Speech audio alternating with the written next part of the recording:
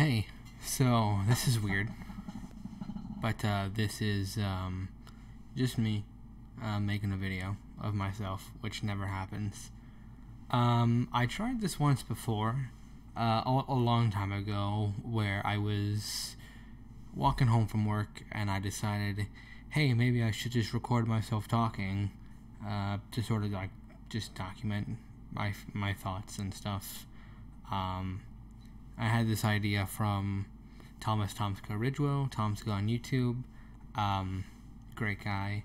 Uh, he he started vlogging basically, and he says it was nice to look back on that time.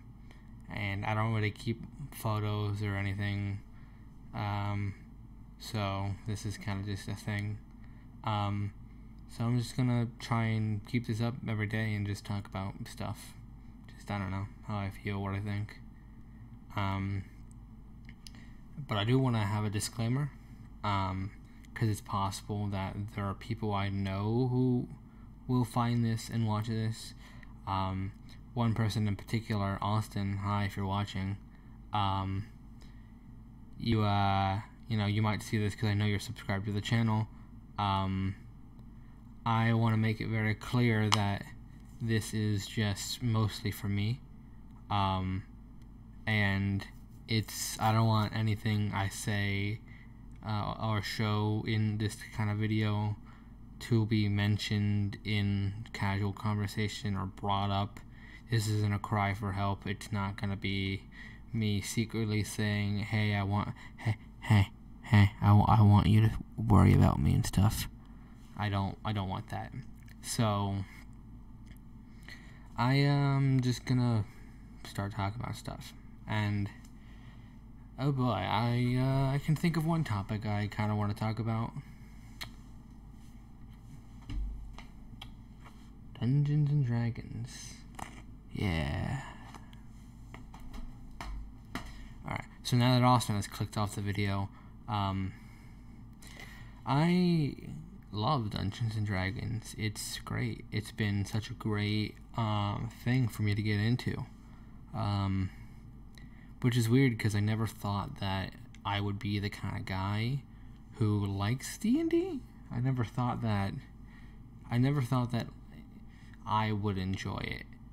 And it's not because of like, you know, the um, the scandal back in the 90s of like Satan or whatever.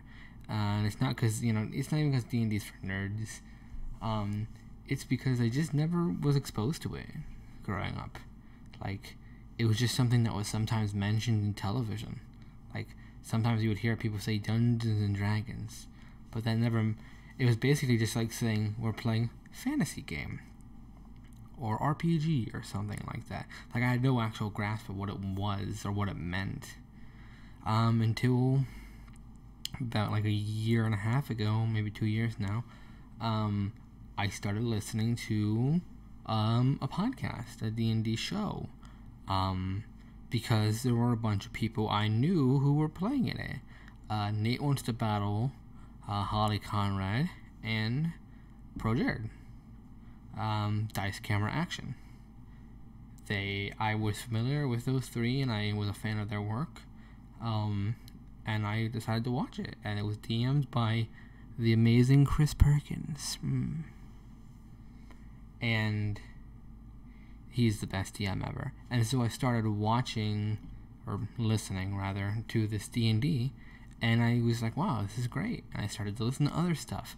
Team 4 Star started streaming and then through that I found the Unexpectables, who were just the best D&D podcast ever. Um, and I just started listening to all this D&D and I got really into it. And I decided, hey, I want to try that too. And so I got my friends together, and well, few I have, and we started playing a very wrong and broken version of Dungeons and Dragons because I had no idea what I was doing. Um, called Minecraft D and D, um, where I would make the stage of play in the world of Minecraft. So it was kind of like an interactive world which turned out to be more work more work than it was than was worth it because as cool as an idea set sounds, it's only cool if you have pre-generated assets and mods, which I had neither of. I did the best with what I could, but uh, it wasn't great. And in the end, it ruined the campaign. Kind of the beginning is a little weird. My players probably don't think so, but I don't look back on it too fondly. Um, I made a lot of mistakes, uh, and and basically got so bad where I had to I had to stop and I had to tell everyone like, okay, so either we have to switch to this service called Roll20 and I play actual D and D, or we're just gonna stop doing this altogether. Um, because I couldn't deal with. This happened when I was trying to um, make a large city with a big cathedral, and I was gonna make that in Minecraft. Yeah, fucking right. I was gonna make that in Minecraft. Nope. Uh, I even had a friend helping me out, and it was still just like, it's just too much. It's just too much. I'm not a great builder anyway and my friends that are good builders are players and i don't want them to see the assets before they get there i don't want them to know the secrets and stuff and so it's way easier to like describe it than it is to make it like so yeah and we started using actual character sheets i redid all their character sheets uh, with actual character sheets and uh, it turned out well the campaign's still going now or a bit of a hiatus but um, I think that it's fun, and I hope that everyone's enjoying it and they're not just lying to me about enjoying it. I have that crippling fear that they're just trying to be nice and they're not. They're just they're just not enjoying it and they just refuse to actually tell me because I feel like it's gonna hurt my feelings. But whatever. Um, I'm enjoying it, even though it's kind of one-sided. I'm railroading them super heavy. Um, I've been I've been listening to a few um uh r slash DM horror stories and like the fact that I can look at some of those uh, stories and be like, wow, I've done that or I've been like that. It it kind of shows, but um, I'm trying to get better. Um, this honestly, this whole campaign is garbage. Um, I just can't wait for it to be done. I can wipe my hands of it, and I have a new campaign in mind, uh, which is far more better. Um, with less restricting, more open, more options. Just I don't I don't want to be that kind of GM that ends up in on DM horror stories. I don't want that. So. Uh, and yeah, and in my free time, I uh, I just kind of I work on D and D even if it's not for anything. I made like a whole campaign campaign like kind of like a dungeon, I guess, inspired by Chris Perkins. Um, just on my off time, thinking that you know I'd never use it. I'm actually gonna use it here soon, but um, but yeah, I made all these characters and stuff I thought I would never use, and I just do that for fun. Um, I've got this sweet kobold hexblade that I would love to use in an actual game, but is more likely just gonna keep being an NPC in my own games because I like them a lot. Um, and so I don't know. It's really the only thing I like these days. I um it combines everything I ever wanted. Like at all. Just game design, storytelling, uh writing, just anything I've ever cared about is just here. And it's nice, you know, it's nice to it's nice to feel like you can make something and other people can appreciate it you know, it's probably as close as I'll ever get. But, I mean, so be it. I've already accepted that I'm probably just. I've peaked, essentially, and it's never to get any better than this. Which is kind of pathetic because, you know, it's not even that great. Um. So, yeah but it's at least been a nice creative outlet for me to um, to express myself, um, and I I enjoy playing just as much as DMing, um, but they're both very different experiences, um, but they're both super nice. I am a bit of a rules lawyer. Um, I uh, I'm very much guilty of being like, um, actually actually, I can do this as a standard action. Actually, that's not how you use that reaction. It's yeah. I can't help it. I I know far too much about the game to just let my knowledge go to waste. You know, it it'll help somebody. You know, eventually my rules lawyering will help somebody when I say, actually, you forgot you have this extra damage because of this thing, and they're like, oh wow, thanks. Yeah, I didn't realize that. I don't know. It has it has yet to happen yet, but I'm hoping that it will. Uh, but yeah, I um, D and D's fun and it's nice. I um, I I love doing it. I was thinking about this at work today. Um, tough to talk about, and um, I don't know if I should get into it, but um you know, do you ever have that friend, you know, like, or you know somebody who's just like better at the thing you always wanted to do and like more confident at doing it? And you can tell that they'll probably have a career in it and they'll be great and they'll be super successful and awesome. And then you just will, you know, be left behind and it won't matter because, you know, you were never that good anyway and no one even wanted you around? You know, do you ever feel like that? You know, it's just. It's uh, it's pretty hard some days.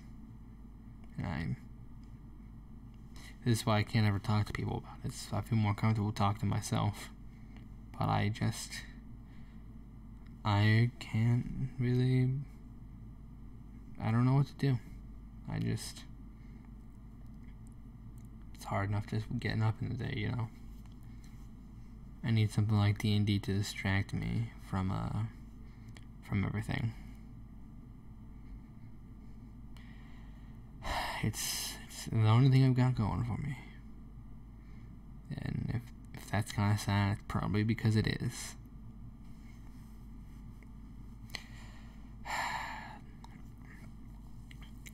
I don't know, maybe things will get better one day, but you know, it's a, it's a tall fucking cliff. I can't really see over it. So what's either gonna happen is I'll make it over, or I'm just gonna, you know, get close to the top and fall down. And if I if that happens, I don't think I'll be able to get back up. So yeah, I'm just trying to take it one day at a time because I can't. I can't think any farther than that. I literally can't. But who knows? Maybe by the time I'm looking back on this, I'll be, you know, moderately successful, where I'm at a point where I don't have to worry about basic income, um, and all my debts taken care of, and I'm fine, and I get to make a living playing D and D or writing for something cool. I mean, who knows? you know, I guess anything is possible. but it, it's just hard to think about the good. And again where I want to say that this isn't a cry for help, and I don't want anyone to see this and come try and talk to me because I won't talk to you. So this is this is for me. It's probably important that I do this because either one day I can be able to look at this and be like, wow, I've come so far, or it'll be something nice to play at my funeral, I guess. I mean, you know, I don't think there's any other reason for a thing like this to exist. It's either, wow, that's where I started, huh? Or, you know, here lies, you know, Matthew Rogers. Um, these were some of his thoughts on the struggles he had day to day. Um, uh, we're gonna skip the parts where we're talking about D and D uh, and just you know get to the sad stuff so you will confuse sad. That's why you're at a funeral. Um, but yeah, Dungeons and Dragons is a fun game. I like rolling dice. I like I like d20s. They're very nice. You know, this is a fun dice to roll. Unlike d6s, d6s aren't as fun to roll because they're they're the dice you use for fucking party games. D and D's not a fucking party game, Artem. All right. I want to roll fucking d20s. I'm tired of it. D20s are the way to go. I got a six. I fucking suck at rolling. Um. God, I probably have fucking bipolar disorder. Uh, I guess I don't know how much longer my phone's gonna last. This is being recorded on a phone, actually. If you can believe it, anyone who's watching this who knows me is like, wait, when the fuck did Mac get a camera? I can actually use my phone as a webcam. I bought a I bought a tripod for a phone for a contest I never entered, um, because I was gonna buy a camera, but I'm like, wait, does my phone have a decent enough camera? Um, it it looks kind of shitty, but it's probably fine for being, you know, something I already had. Um, and so yeah, I was like, I mean, I could technically do this, and like, you know, I don't like being on camera I'm not to edit this video because I don't want to have to watch myself do dumb hand things or look down and at the camera and be like, why the fuck did you look down there? Or listen to myself back because no one likes that. So this is just going to be uploaded raw if anyone's still watching this. I really doubt anyone's watching this. If you're if you're watching this, leave a comment and subscribe because fuck YouTube. Um yeah, I don't know. Um it's possible that some people might end up seeing this because in the future I hope to upload um, sessions of D&D to this channel or a different channel has a better name on it maybe less cringy stuff. Um, so yeah. I mean maybe you found this through that. I don't know. Maybe you're Artem and you found this by reverse engineering my fucking shit and finding my channel like you did before for some reason. Mm. Uh, so yeah. It's like 1:30 at night and I had to put the door back up behind me because uh cuz that door has been broken since I moved back into this room and uh, cause it looks better that way than it does in my closet.